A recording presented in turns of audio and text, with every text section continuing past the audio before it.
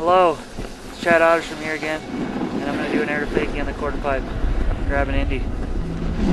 Alright, doing an air to fakie on a quarter pipe is real easy. You just go out the quarter pipe as flat base as you possibly can, straight up the wall. Just keep your knees bent and pump up the transition on the quarter pipe. Grab an Indy is what I really like to do.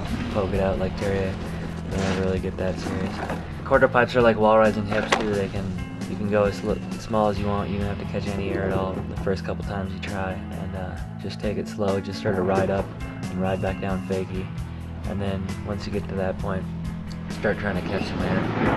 When you're up in the air on the air to fakie, grab an Indy, and you just look down at the coping and hopefully you're coming straight back down. If the, the quarter pipe goes to vert, usually you are. And uh, try to set it down at the top of the transition and uh, just ride straight back up the hill.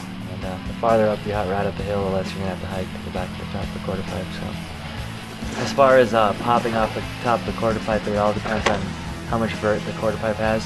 If it's under vert, pop a little bit. If it's vert, you shouldn't pop at all. Just ride straight up like a park jump, and then you'll find yourself up in the air. It's a good time.